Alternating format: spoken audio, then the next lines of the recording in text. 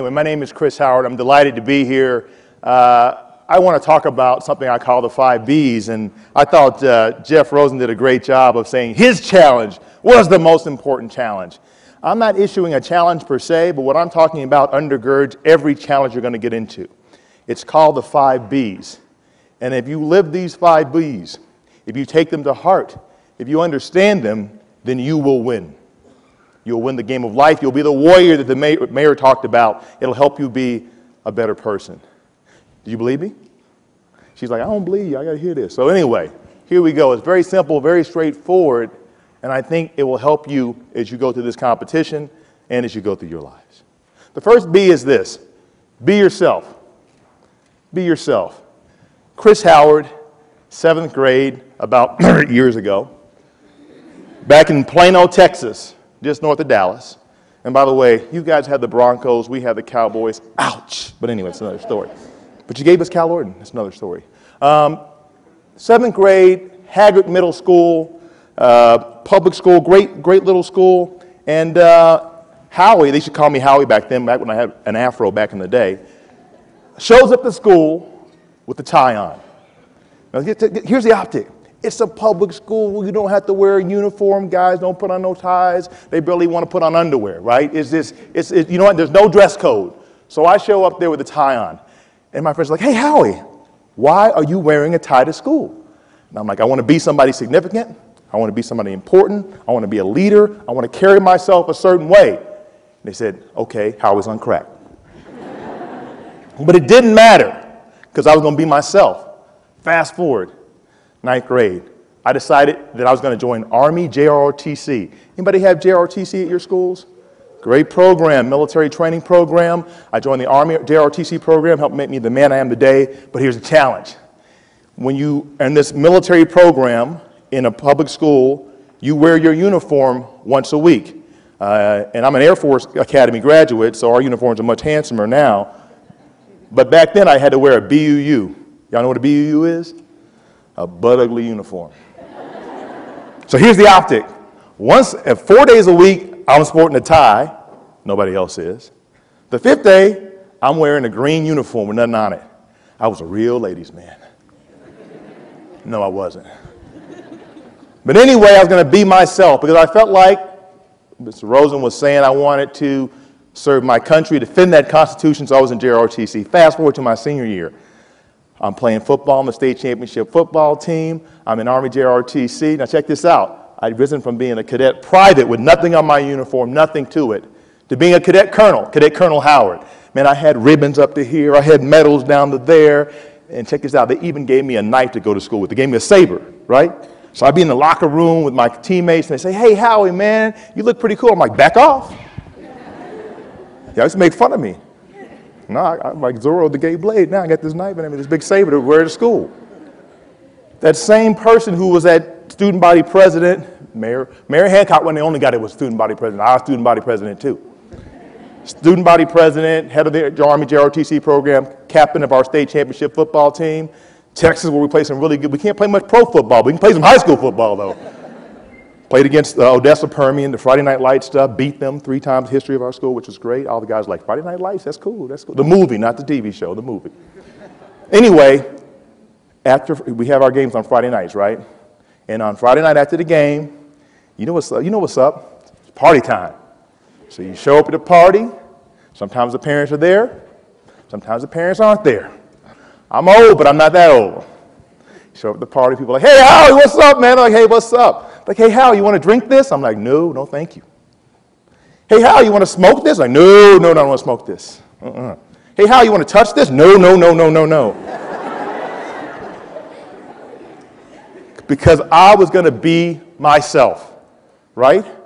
I was going to be myself. So that same kid from seventh grade to ninth grade to 12th grade I just described to you was what made me who I am today. That willingness to be myself. And I want you all to recognize this, by the way, because you're going to go back into your schools. You're going to go on to other great colleges and universities Hampden-Sydney College, Hampden-Sydney College, Hampton, Denver, you know, Harvard, Princeton, Hampden-Sydney. You're going to go to these great schools. And no matter where you go to school, no matter where you go to school, uh, Cornell, it doesn't matter. People are going to ask you to smoke, drink, or touch things you're not supposed to be smoking, nor drinking, nor touching. And when they ask you to do that, you think back to that good looking brother on the stage, that bald headed black dude that said, You can be yourself. You can be yourself. So that's my first B. That's my first B. My second B is going to require a volunteer. And there's a real cool dude from South High School that I met earlier. Come on down, man. Come on, man. Come on up, man. Don't be slow. I, I, mean, I chose you out of everybody. You walking like molasses. Come on now. Clock's ticking. Time's money. Mine's on my money, and my money's on my money. Sorry. Remind me your name? Jeffrey. Jeffrey. Good to see you. You got to give a round of applause to Jeffrey. Look a little bit like Miguel, the singer Miguel. Look sharp. Anyway, Jeffrey, my second B goes back to the great philosopher Bill Cosby, right? And Bill Cosby says, You know, Jeffrey, I, I brought you into this world, and I can take you out and make another one just like you. So the second B is to be humble. Be humble. Go ahead. You can have a seat now. Thank you, Jeffrey. Appreciate it. Give Jeffrey a round of applause real quick. Thank you very much. Be humble. Be humble. I have two sons. In fact, when they behave, they're my sons. When they misbehave, they're my wife's sons. One's 16, one's 20, and my little 16 year old Josh was like, Dad, I just got Madden 2075, whatever the video Xbox game is. I'm gonna go play it on Xbox. I'm like, that's not your Xbox. That's my Xbox. I'm just letting you play it. And my 20 year old son, Cohen, he's like, Dad, I got this great Volvo. It's so tricked out. He's a sophomore in college. It looks so, looks so cool and everything. My son, that's not your car. That's my car. I'm just letting you drive it. So I, I said, I, I just sit the boys and I said, check this out, Cohen and Joshua. Understand this. You two, me and your mama, we're rich. You two, you're poor. So be humble. Don't take credit for things that you have not done. Don't take credit for what your mama did, your daddy did, your grandpa did, your mama did, your doctor did, your dog catcher did, but know that you can do it. It is in you. It is in you. And you wouldn't be a part, as Mayor Hancock said, of this subset of this subset of this subset of this subset to be invited to be a part of this challenge if it was not in you, right? So we know you're going to get there, but you're not quite there yet.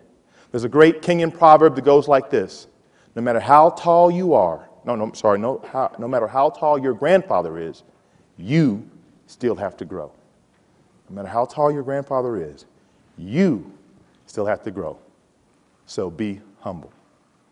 My third B goes back to my time at the United States Air Force Academy. And by the way, my college roommate is here, Art Romero. We've known each other since 1922 when we were at the Air Force Academy together. I love him like a brother, but we almost beat the hell out of each other when we were in school together. Art, stand up, get a round of applause. That's my, that's my main man. Thanks for coming out.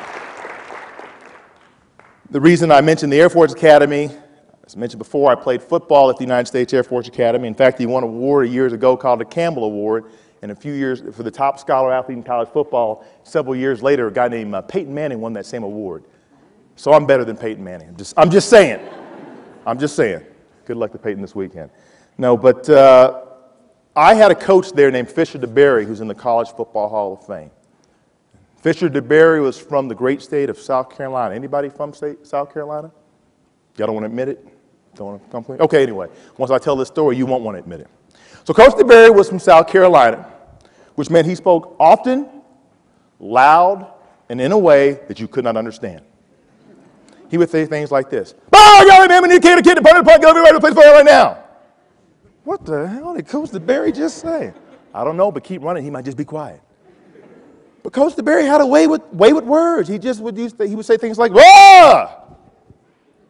Let me Google that. Ah, what is that? And he had these wonderful sayings. He'd say things like, Ladies and gentlemen, when you leave this place today, when you leave this place today, and you see a turtle on a fence post, he didn't get there by himself. Coach, we're playing football. This is not violent. What turtle? What are you talking about? Anyway, but the man, we was beloved. He's a Hall of Fame coach. He's like a, another, another father to me. But Coach DeBerry used to do something that you see in athletic competitions all the time, athletic practices. He'd bring us up after practice put us in a little horseshoe around them. And this was going back to um, my second, uh, the, the fourth practice of my senior year during tour days. And he'd have us in a semicircle.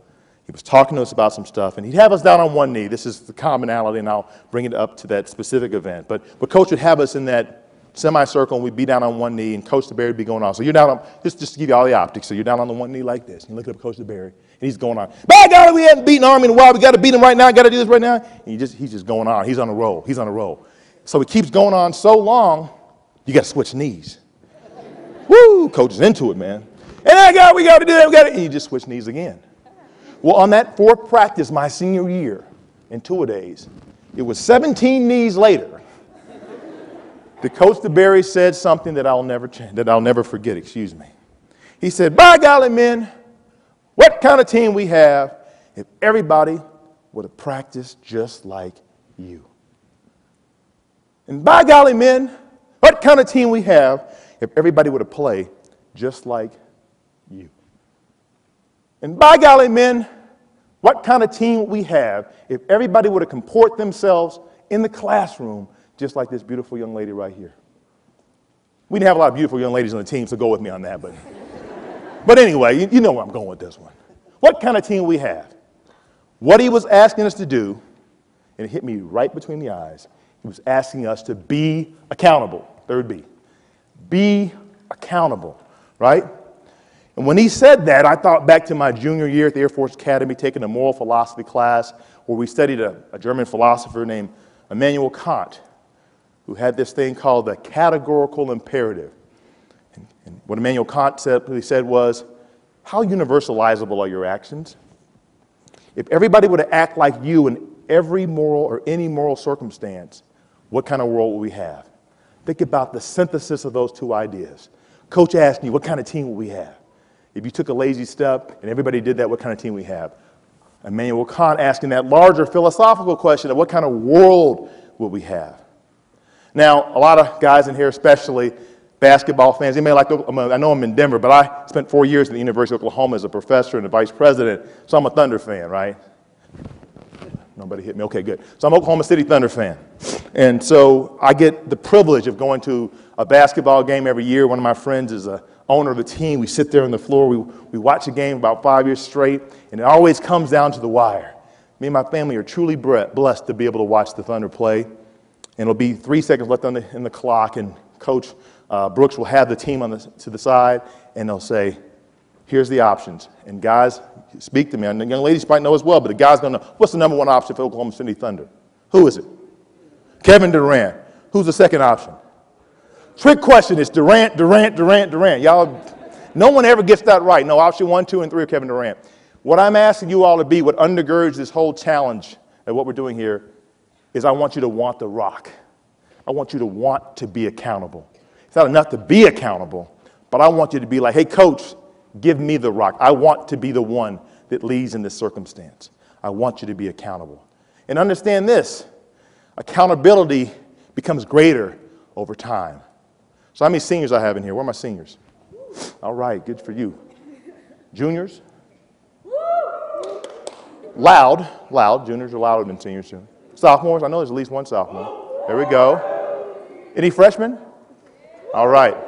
So, freshmen, freshmen, freshmen, love you, freshmen. When you came to school, when you came to school, the seniors are like, I hope he or she can walk and chew bubble gum at the same time. You all were able to open up your lockers, they're like, oh, Hercules, Hercules, they're so good, they're so good. Because you're freshmen and expectations aren't extraordinarily high for you from the get go. But when you become a sophomore and as you become a junior and senior, eyes, they start watching you, they stay watching you. And I promise you, where my senior? Why my seniors stand up real quick? You have a special mantle of leadership and accountability. And only going to be teams, so don't get an attitude with them and be like Dr. Howard said, I'm a senior, you got to do what I say. Now, don't get an attitude about it. But I want you to understand you have a special mantle because there's a freshman at your school I promise you, all of you all are 9th through 12th grade, you all have freshmen there? Okay. There is a freshman at your school looking at you and saying, I want to be just like you. And there's a freshman at school looking at that young lady right there and saying, I want to be just like you. Y'all can go ahead and have a seat. Go ahead and have a seat. And so, what that means is that mantle of leadership, when you don't think that freshman is looking at you, When you don't think anybody's looking at you, I'm gonna tell you something. And all the old folk in the house, if you're over 25, you're old. All the old folks know. When you don't think that they're looking, what are they doing? They're looking. They're looking at you. And every time you say a bad word, and every time you act foolishly toward a teacher, and every time you mistreat another student, you're giving them license to do the same thing. You are, as the United States Army says, you're setting a standard. And now, all of you all as leaders are setting the standard, but especially my seniors, you all are setting the standard. And it doesn't change. You don't think when Mayor Hancock's doing something, people are like, there go the mayor. Mm-hmm, there you go. Oh, look what he just did. Oh, uh-huh, let me tweet that. so I, my own personal story, I'm uh, Hampden-Sydney College is just south of Richmond, Virginia.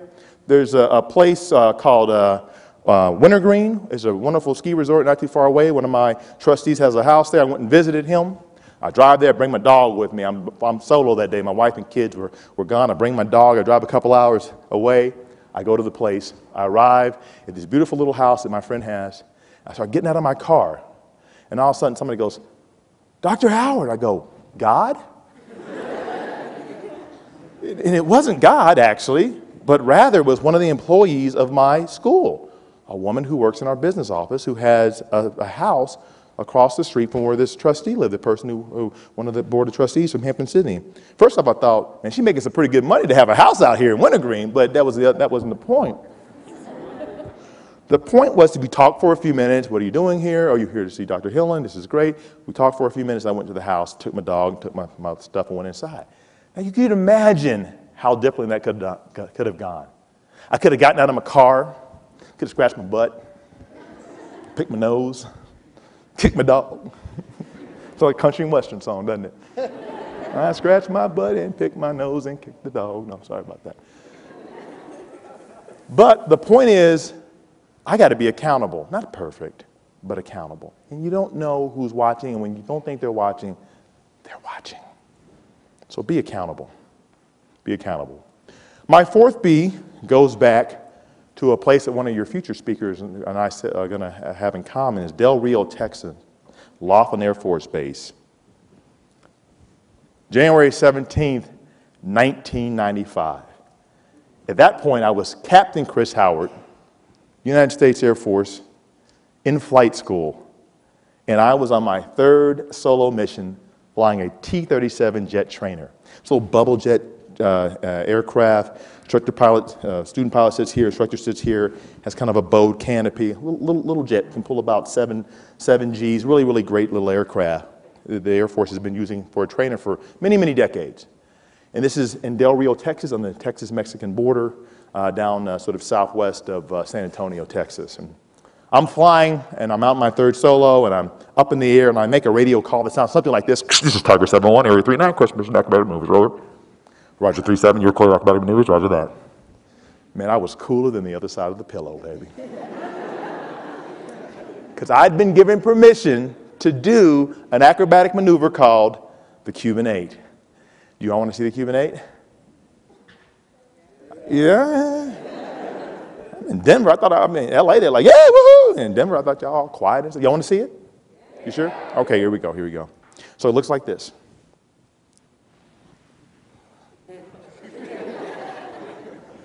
Y'all want to see it again? so here you are on the jet. You go from I'm, I'm upside down, I'm inverted. You go from inverted to erect, and you go to pull a stick up to do the other part. But here's the deal. This was happened on January 17, 1995. Uh, I went to pull the stick this way. Instead of the airplane going this way, it went that way. now, you don't have to be an AP student at East High School in physics to know when you pull the stick this way, the airplane ain't supposed to go that way. so when I started this maneuver, I was going about 250 miles an hour roughly. Now, and when I'm pulling the stick up, all of a sudden, the airspeed starts to increase. So I'm going 260 miles an hour, 270, 280 miles an hour. And the airplane is starting to make sounds, ladies and gentlemen, that airplanes should never make. Airplanes that usually sound like this, sound like this. That is a bad aircraft sound. So as I'm approaching 280, 290 miles an hour, and the airplane's going in this sort of Bugs Bunny death spiral dive, I start doing some really, really bad algebra in my head. If Captain Howard's flying at the ground 300 miles an hour, and a train leaves Denver at 2 o'clock in the morning, when's Captain Howard going to die? These word problems always have a train. I don't know how that works, I'm not very good at it. But that's some really, really bad algebra. I'm getting really negative in the seat. The airplane's making those sounds. I'm starting to hit my head on the top of the canopy. You go to those amusement parks, you're riding a roller coaster, and you go down, you get really negative. Those y'all that have hair, I hate you. Now, those y'all that have hair, your hair starts kind of shooting up in the air and stuff like that. So that's what's happening to me to give you the sensation of going 310 miles an hour at the ground, heads hitting the top of the canopy. You're trying to, you're no longer cooler than the other side of the pillow. I promise you that. You're trying to negotiate the aircraft and figure out what's going on. Then all of a sudden, ladies and gentlemen, I start to see things that pilots should never see. I start to see trees. I start to see leaves on trees. I start to see squirrels on leaves on trees. Ladies and gentlemen, I start to see nuts in the hands of squirrels on leaves on trees, and I say all of a sudden, I'm going to die. And that's not funny. Oh, there's an ejection seat on this thing. I reach down, grab the hand grip, squeeze the trigger. What that is, is the explosion at the bottom of the seat, intentional, that blows me straight up, blows the canopy off. I'm about 320 miles an hour. And when that canopy comes off, it's like getting hit in the face by an all American free safety on a Saturday afternoon, right? That's the. So all of a sudden, after that opening shock, my canopy deploys, and all of a sudden! Again, no longer cooler than the other side of the pillow, I promise you that. And I kind of come to my senses and I realize that I'm under my canopy and I'm hanging under parachute, right? And I've gone through some training and I know what I'm supposed to do now. I'm supposed to take my cool Tom Cruise visor thing and I'm supposed to raise my helmet, raise the visor, but I touch my face and the helmet's been sucked off in the ejection. And then I look down at my hands and I realize that my Nomex flight retardant gloves have been sucked off in the ejection. And then I touch the side of my face and I realize that it's swollen and blood's coming down the side of my face.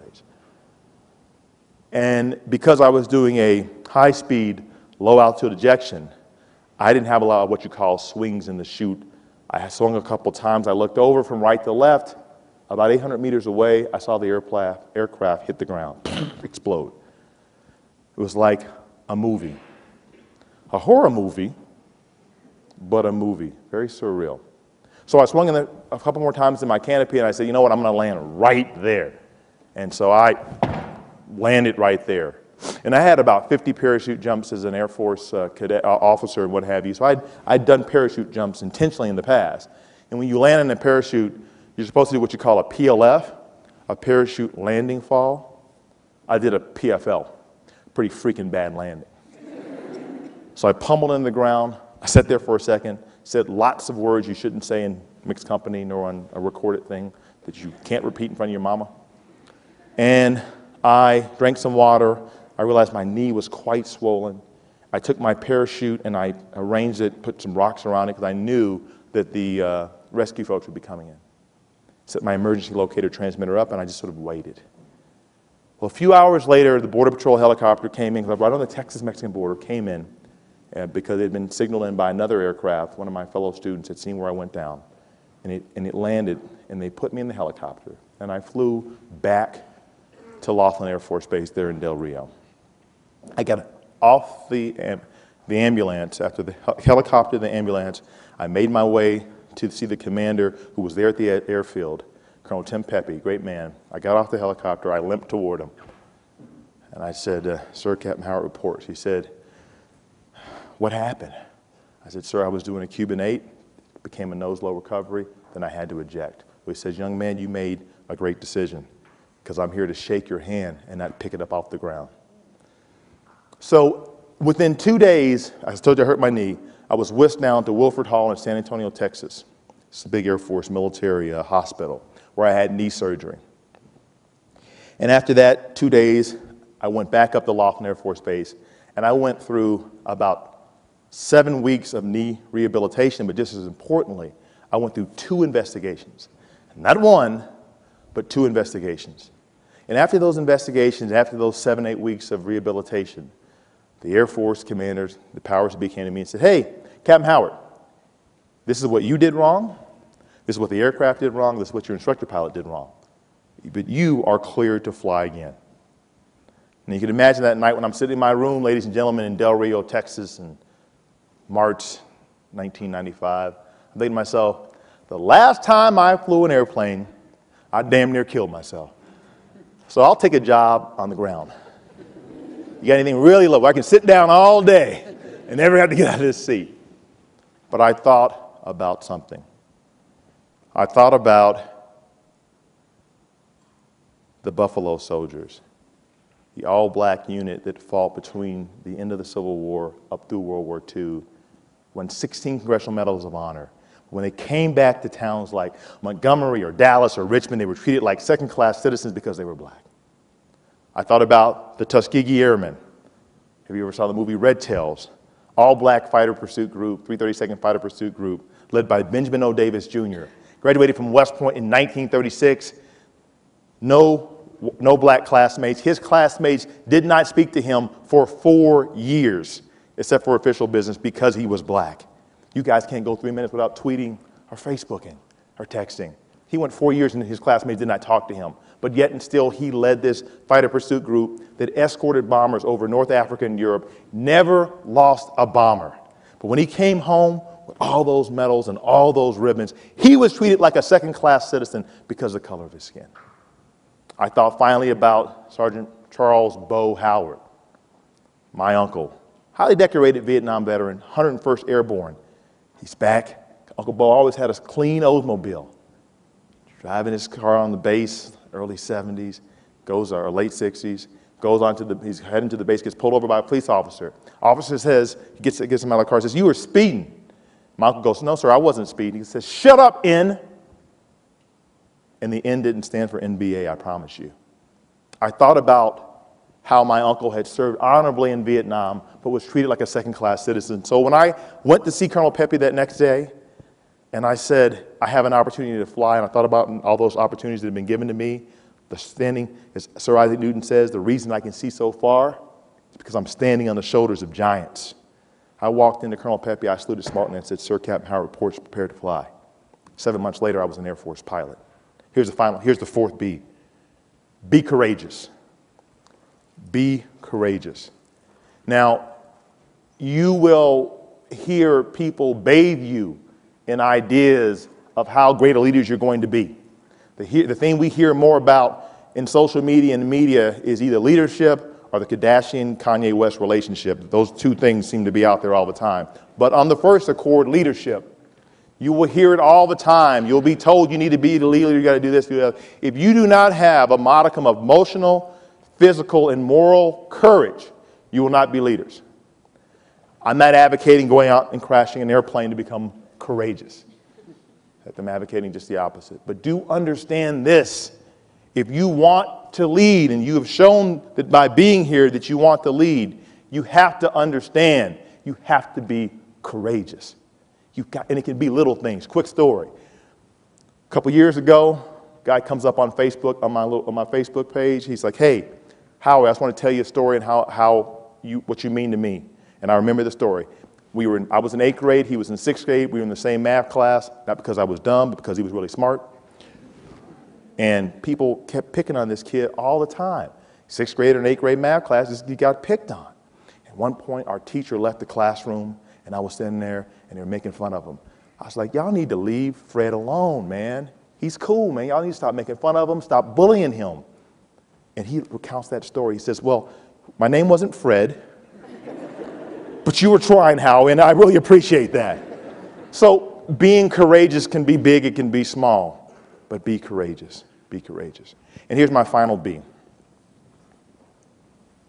It goes back to the great thinker, the great civil rights activist that inspired Dr. King, and it's Mahatma Gandhi. And that is be the change in the world you want to see. Be the change in the world you want to see. That's that great John Mayer song, Waiting on the World to Change. Man, this is the Aspen Challenge. We ain't waiting on nothing and nobody. The tools are here. The tools are here. So be the change in the world you want to see. So here it is, ladies and gentlemen. Here's the challenge, right? You get this right, then you win. You win, you become that warrior. You win in life, and you have a good chance of winning this competition. Be yourself, be humble, be accountable, be courageous, and be the change in the world you want to see. Thank you very much. Thank you. Thank you very much. Thank you. Eric said that uh, I have time for two or three questions. Right there.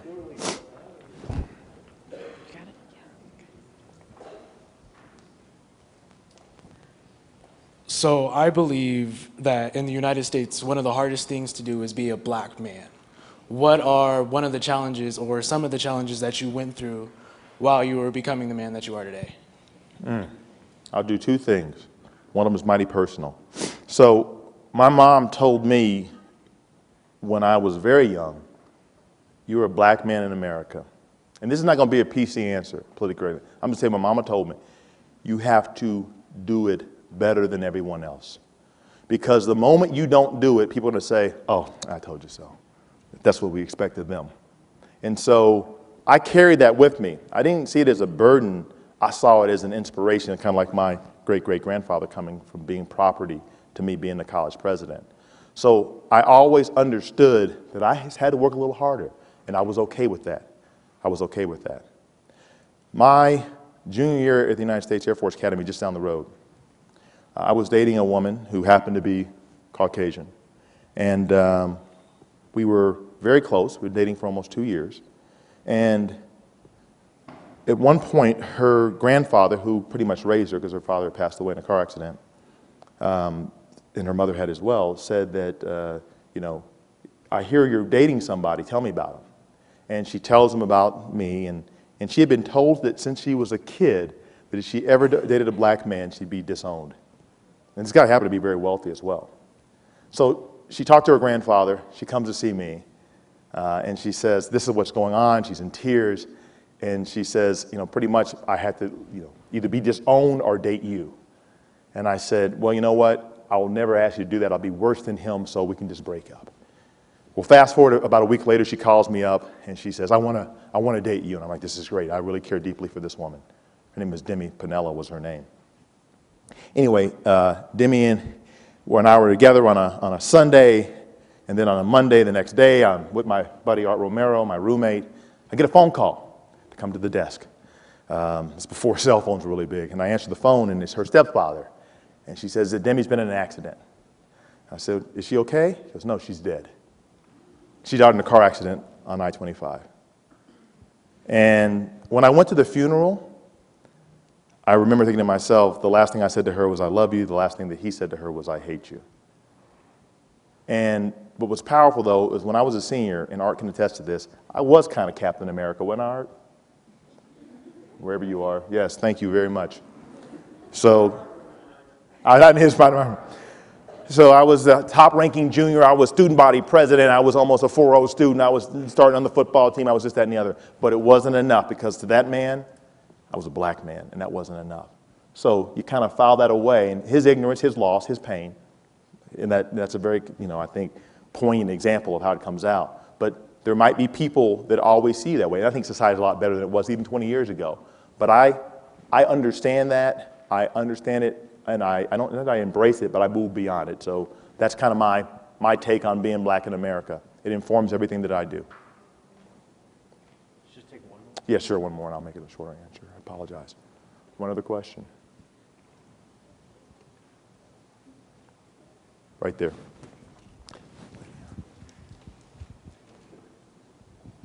What made you decide to join the Air Force and also thank you for serving us? Well, thank you very much for the kind words. Appreciate it. Thank you. So about that same time when I was 13 years old, I was telling the story about wearing the tie to school. I decided I really wanted to go to West Point. I'd seen a picture of a West Point cadet on some poster, and I thought, I want to be a West Pointer. So I sat down and I wrote a letter to my congressman, and I said, I'm Chris Howard. I'm a good student. I'm a good athlete. I'm a good leader, and you need to give me a congressional appointment to go to West Point, right, when I turned, you know, 17, 18 years old. He wrote me a letter back. He says, you sound like a neat kid, but uh, here's one problem. I'm not your congressman. I wrote it to the wrong person. He goes, but I'll forward it to him anyway. And that kind of started an odyssey where I said, the best thing I can do to honor those that came before me is by serving my country. And for four years, I thought it was going to be West Point. And then my senior year in high school, I came across this man, Fisher DeBerry, who I told you the story about. And I was recruited by Navy as well. And all three, the one that fit the best was the United States Air Force Academy. So um, go Falcons, and it has been a great journey. Thank you very much. I appreciate it. Have the best, best time. Cheers. Chris Howard. Thank you.